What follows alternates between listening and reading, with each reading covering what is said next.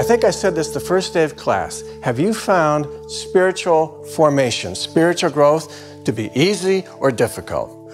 Why is it so difficult to change? Not only why is it so difficult to change, but why do so many bad things happen in the world? Why is that?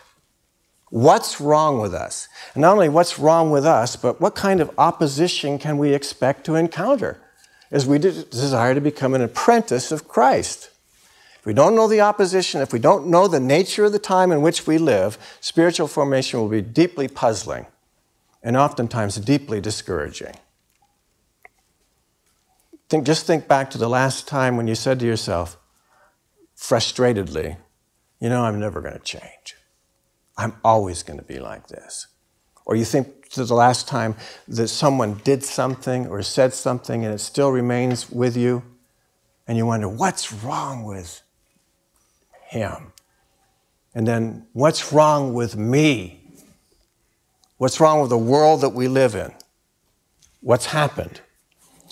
But in order to understand the nature of the time in which we live, we really do need to understand what's happened in Christ. And, and this is a big asterisk. The relationship between this present evil age, note that phrase, note it, write it down. The relationship between this present evil age and what Jesus calls the age to come. If we don't understand this dynamic, we'll understand very little of the New Testament. The relationship between this present evil age and the age to come and the meaning, as Jesus teaches it, of the kingdom of God. We must understand this. So I want to walk you through this now. And I'm going to put an overhead up in just a moment. But to get started, I want you to be with me now in the scripture. So turn to Mark chapter 1. Now it's interesting. Mark begins his gospel not by talking about Jesus' birth, but by focusing on John the Baptist. And John the Baptist announces that the Messiah has come and then he's put in prison. Now take a look at verse 14. It might help to underline every one of these texts. After John was put in prison, Jesus went into Galilee proclaiming the good news of God. Verse 15, this is what Jesus announces The time has come. The kingdom of God is near. Repent and believe the good news. So, what's the good news? The time has come. The kingdom of God is near. That's the good news. So, the question then becomes when they hear what he says in verse 15, the time has come, the kingdom of God is near, repent and believe the good news, what are they then thinking is going to happen? Now, this is where it gets a little bit technical. So, I want you to memorize this chart. And let me walk you through it. So, what I've got here at the top of the chart is the Jewish eschatological hope. And if we don't know what the word eschatological means, the chart's not all that much help. So, the Greek word eschatos, with an S on the end, the Greek word eschatos means last. So, eschatology in systematic theology. Eschatology is that branch of theology that, that dwells upon what? Last things. The end of history as we know it. You with me? End of history as we know it. The eschaton. What's the eschaton? It's the arrival of the end. So, Jesus in uh, Mark chapter 1, verse 15, announces that the time is at hand. The time is at hand. Every Jew listening to him in that crowd who'd grown up in the synagogue, when they hear the time is at hand, they begin to think that the eschaton is at hand. History's ending. We always knew it would when Messiah came. Now, that's their hope. Does this make sense now? That's their eschatological hope. Their hope was that, as Isaiah puts it, when the anointed one of God comes, all the nations will stream into Jerusalem. Jerusalem will be raised up above the people, all peoples. And the Lord's anointed will reign from Jerusalem. Now, catch it. And evil will end. sin will end. All nations will enter into the wondrous reality of what it means to be in relationship with the God of Israel. Now, here, this age is this present evil age. And then we have over here the age to come. Present evil age, age to come. Now, see that dark line? In Jewish thinking, what that dark line means is this when Messiah comes, this present evil age stops, ends, finished, with all of its characteristics. Sin ends, sickness ends, demon possession ends, evil people triumphing ends, injustice ends, it all stops. And the age to come is fully manifest, characterized by the presence of the Holy Spirit, righteousness, health, peace. No more sick people, no more war, no more genocide, no more Rwandas in 1994. It all stops with the arrival of the Messiah. All right, now back to the text. When Jesus in verse 15 announces that the kingdom of God is near and he says, Repent and believe the good news and that the time has come, that chart kicks in. That's everybody's expectation of what's going to happen, including the disciples. They're thinking according to this chart. And what Jesus has to do, for instance, what Jesus has to do is if this present evil age is indeed being invaded by the age to come, he's going to have to deal with sin. He's going to have to deal with the demonic. He's going to have a lot to say about issues of injustice. One would expect this, yes? If the age to come is, uh, is invading this present evil age. Now, look how Mark does this. Verse 15, you have the arrival of the kingdom, right?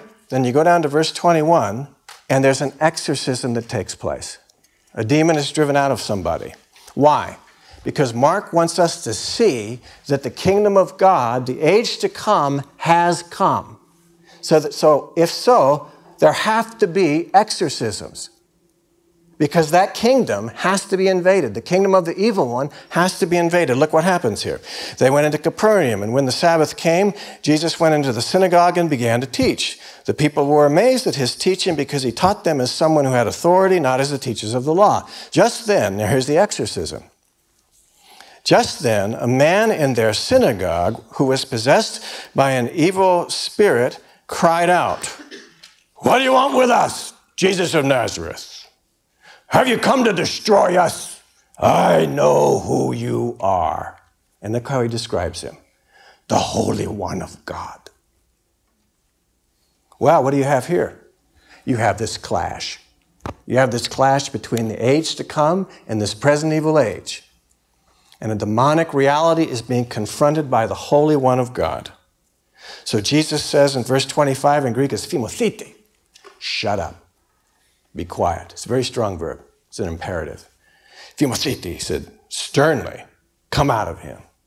The evil spirit shook the man violently and came out of him with a shriek. Quite a dramatic scene. So we have an exorcism. Now, Jesus, if this is in, in reality occurring, this present evil age being invaded by the age to come, there's got to be healings, right? Can you see why theologically? If this present evil age is characterized by sickness, if the Messiah has come, there has to be healings, or he can't be the Messiah. So Mark knows this, and so Jesus heals many. Verse 29 of chapter 1. He does many things that indicate that this present evil age is being invaded by the age to come. We've just seen it. He raises people from the dead for crying out loud.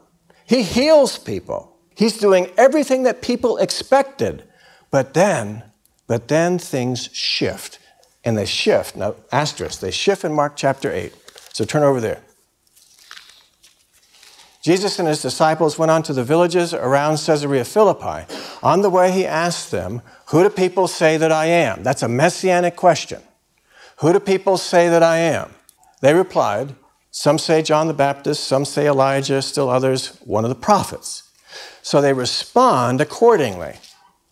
Well, some think that John the Baptist come back from the dead. Others say Elijah. There was the expectation that Elijah would come back before the Messiah. Still others, one of the prophets. So people are, are, are seeing certain things about Jesus, but they haven't got them figured out yet. So Jesus very pointedly says, But what about you?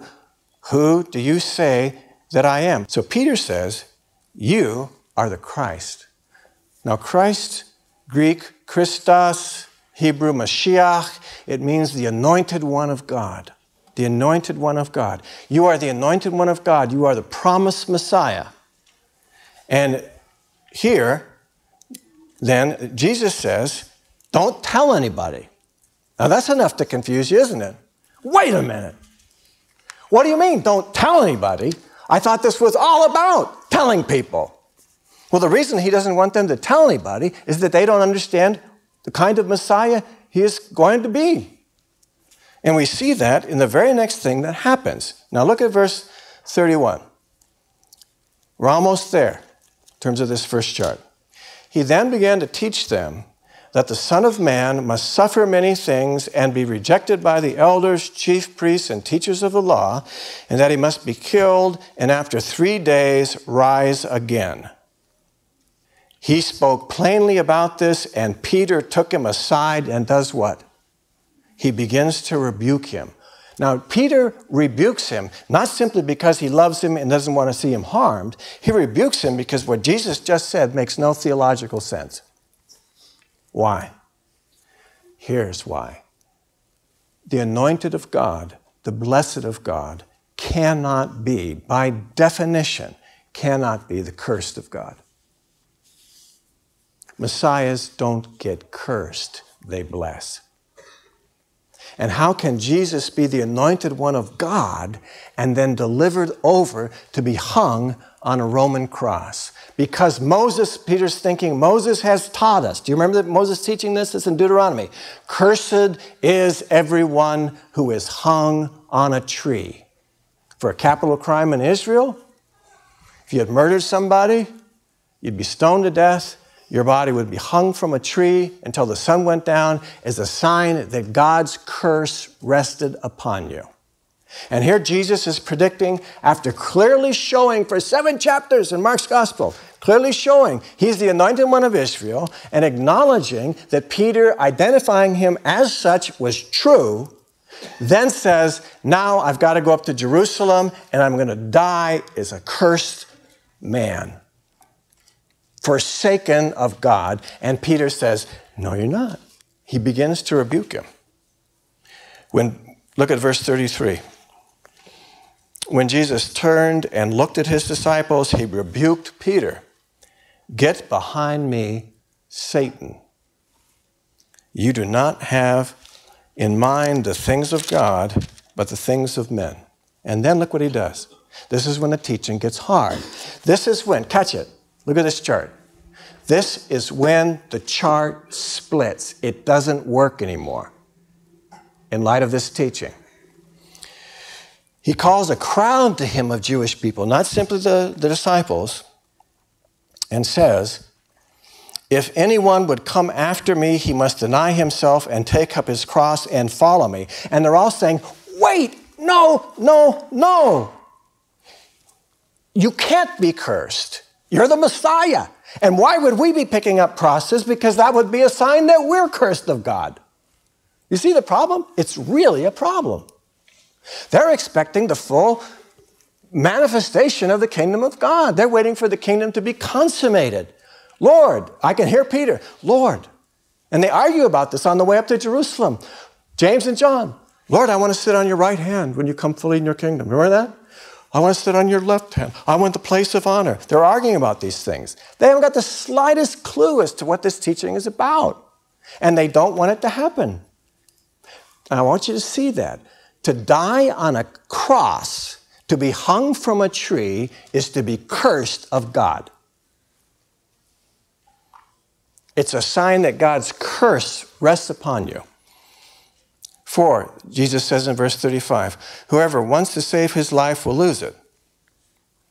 Whoever loses his life for me and for the gospel will save it. What good is it for a man to gain the whole world yet forfeit his soul? Or what can a man give in exchange for his soul? If anyone is ashamed of me and my words in this adulterous and sinful generation, the Son of Man will be ashamed of him when he comes in his Father's glory with the holy angels. And at that point, they say, Now, wait a minute. What do you mean, coming with your holy angels? You're already here. Are you going to be leaving? Why would you leave? Messiahs don't leave, Messiahs stay. Messiahs consummate the kingdom. None of this makes any sense. I don't like it, and we're going to change your mind. And in Mark chapter 9, 10, and 11, we see that effort. And it doesn't work. So oh, I leave you with this. Ask you this question How can the cursed of God be the blessed of God?